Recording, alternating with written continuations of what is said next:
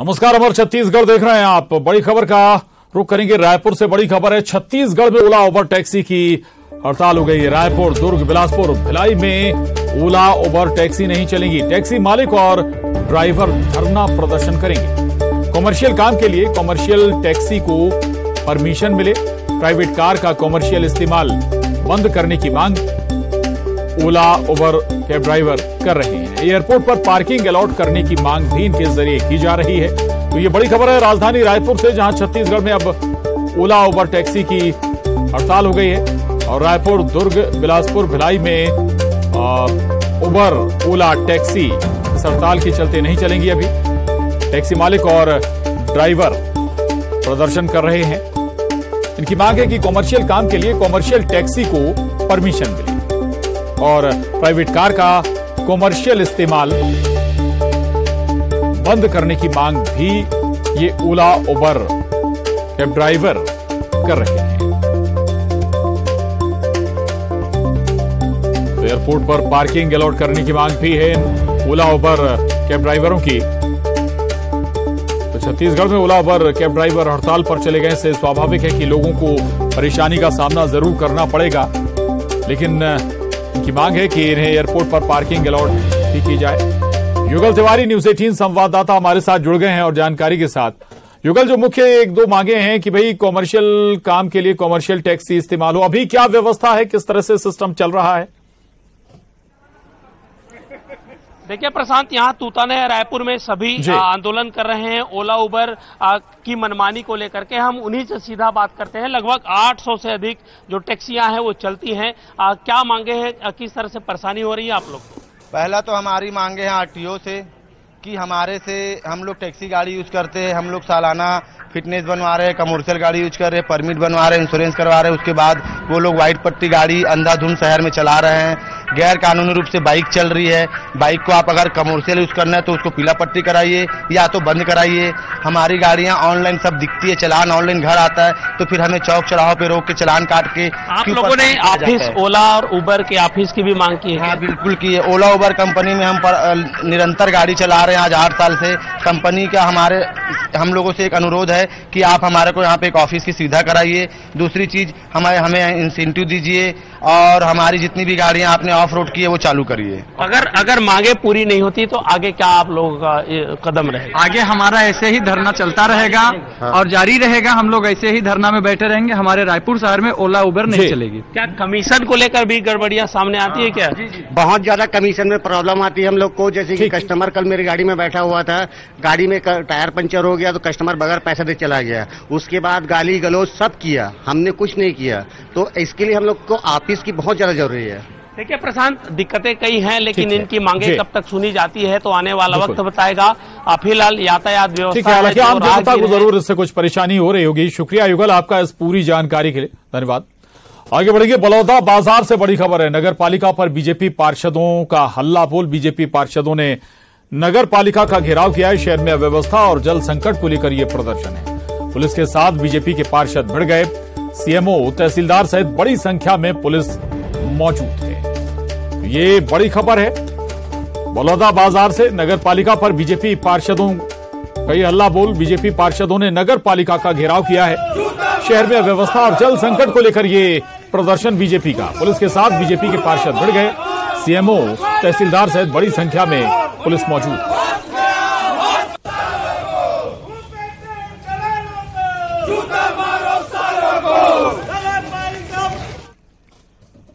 अगली खबर का रुख करेंगे। गरियाबंद से बड़ी खबर, राशन कार्ड, श्रम कार्ड, पीएम आवास दिलाने के नाम पर वसूली की गई है। गाँव में शिविर लगाकर ग्रामीणों से पैसा वसूलने का आरोप है। वसूली करते तीन महिलाओं को सरपंच और ग्रामीणों ने पकड़ लिया। सिंगेश्वर के ग्राम पंचायत कौंद केरा का मामला है। ये केंद्र सरकार का कर्मचारी होने का दावा कर रहे हैं।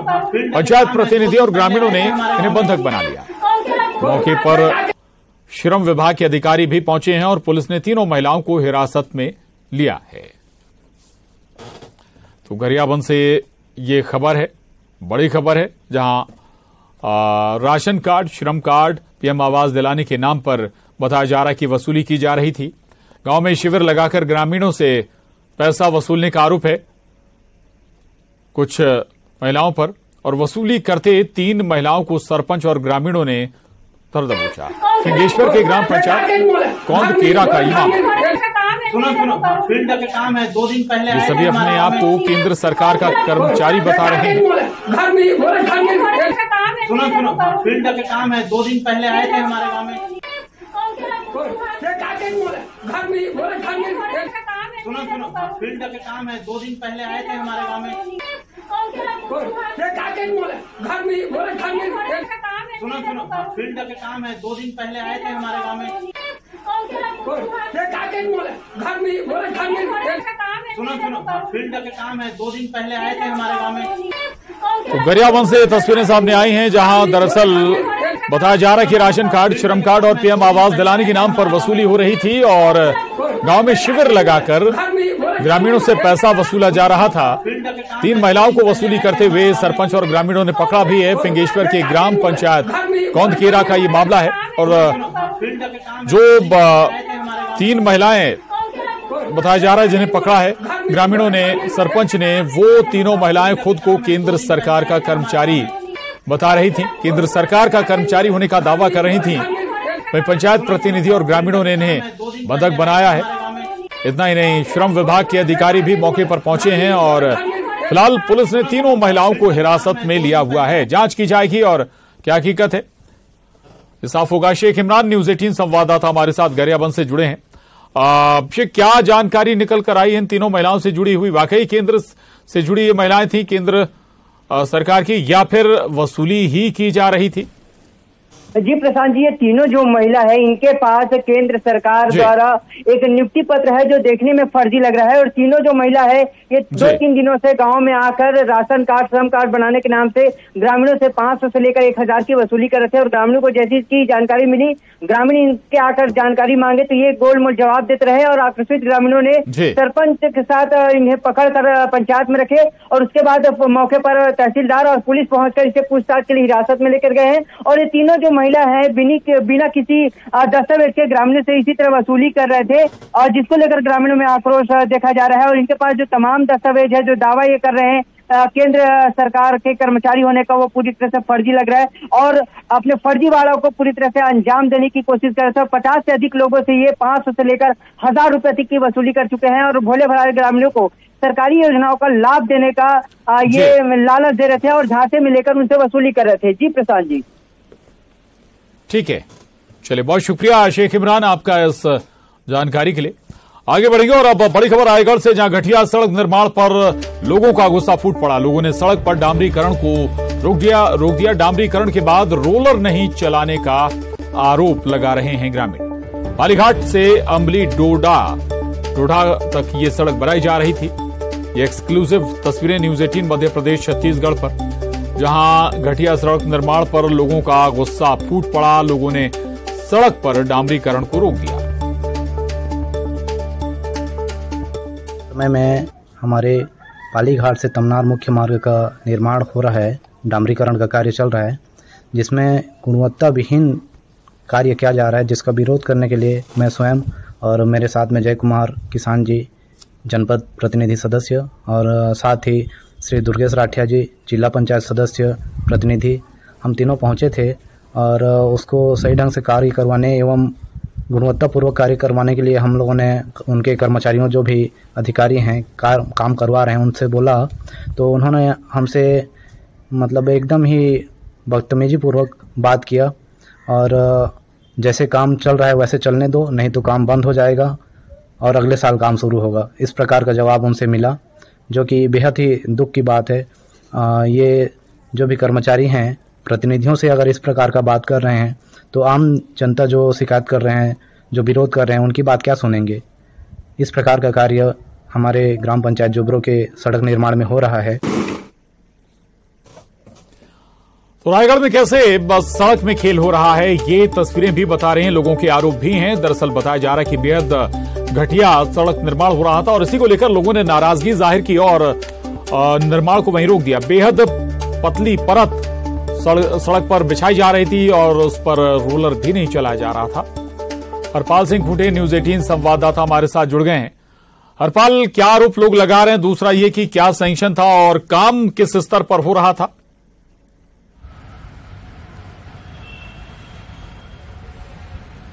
जी प्रशांत बताना चाहूँगा जिस तरह से वीडियो में दिखाई दे रहा है लोगों के मध्य लकड़ी के एक छोटे से अ, लकड़ी के वार से ही जो है सड़क उखड़ रही है। इससे अंदाज़ा लगाया जा सकता है कि सड़क जो है किस गुणवत्ता से बनाई गई होगी क्योंकि सड़क बनाने के बाद जो है उसके ऊपर रोड रोलर चलाना होता है। इससे जो डामर होते हैं जो मुरुम होता है वो बैठता है और सड़क जो है बेस एकदम मज़बूत बनता है। लेकिन कहीं न कहीं यहाँ पर सड़क निर्माण की जो एजेंसी है उसके द्वारा घोर लापरवाही बताई गई। और घोर लापरवाही यही है कि उसके ऊपर रोड रोलर नहीं चलाया गया। लोग जब उसके ऊपर चलने लगे जब चप्पल से जब जूते से एड़ियों से रगड़ने लगे सड़क पर तब सड़क जो है उखड़ कर निकल रहा है। वीडियो में स्पष्ट तौर पर दिखाई दे रहा है। इसके बाद जो है स्थानीय जो जनप्रतिनिधि है गाँव के जो विधायक है उन्होंने सॉरी गाँव के जो सरपंच है उन्होंने जो है मौके पर पहुँचा और भारी लोगों की भीड़ जम गई और इसके बाद जो है जो सड़क का निर्माण हो रहा था और उसको रोका गया। सड़क निर्माण के जो काम हो रहे थे जो गाड़ियाँ लगी हुई थी उनको रोक दी गई है। अभी सड़क के ऊपर जो डामरीकरण का काम हो रहा था तो इसमें गुणवत्ताहीन जो निर्माण हो रहे थे इसके लिए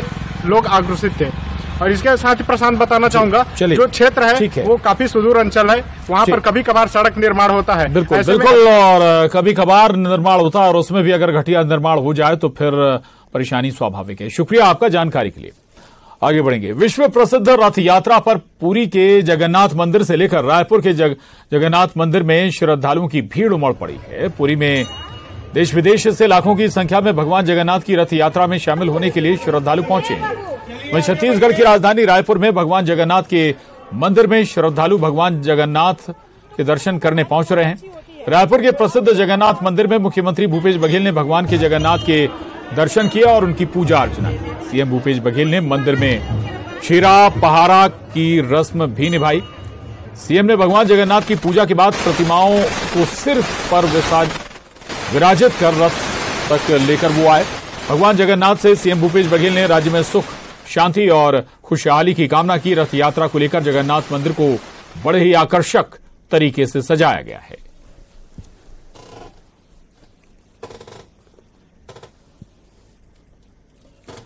तो ये पाँच तस्वीरें आपके टीवी स्क्रीन पर दरअसल रथ यात्रा निकाली जा रही है। देश भर में आ, मंदिरों में धूम है। प्रसिद्ध रथ यात्रा पर पुरी के जगन्नाथ मंदिर से लेकर रायपुर के जगन्नाथ मंदिर में श्रद्धालुओं की खासी भीड़ उमड़ती नज़र आ रही है।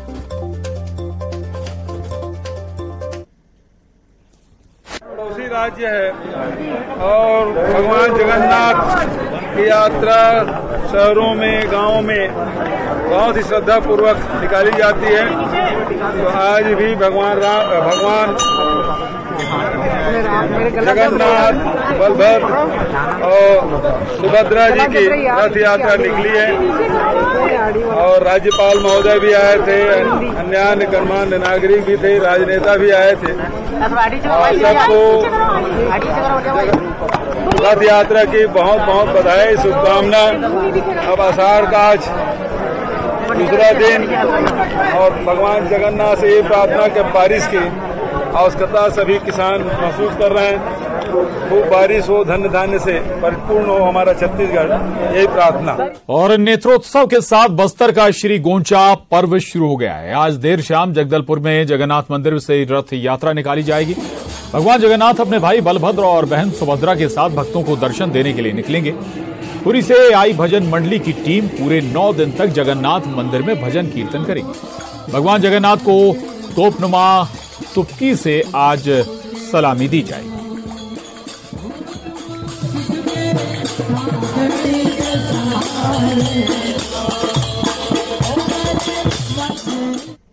भीषण गर्मी में धर्म की नगरी धमतरी में इन दिनों भगवान भास्कर कहर बरपा रहे हैं। प्रचंड गर्मी के कारण इंसान और बेजुबान के साथ भगवान जगन्नाथ भी, बेहाल और परेशान है। जगन्नाथ मंदिर के गर्भगृह में डेढ़ टन का एयर कंडीशन लगाया गया है ताकि एसी के ज़रिए भगवान को गर्मी से राहत पहुंचाई जा रही है।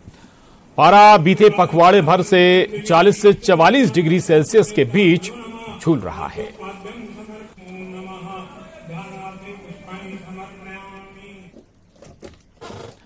और अब रुकेंगे सिटी टॉप ट्वेंटी का। जगन्नाथ रथ यात्रा पर छत्तीसगढ़ के जगन्नाथ मंदिरों में श्रद्धालुओं की भीड़, रायपुर में सीएम भूपेश बघेल ने की पूजा, छेरा पहारा की निभाई रस्म।